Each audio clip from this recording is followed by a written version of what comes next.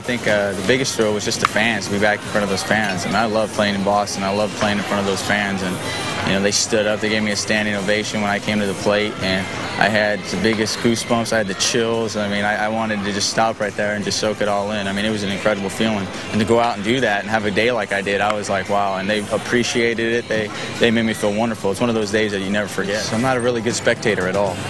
I don't like watching, especially, uh, especially watching the game I love to play and being out there.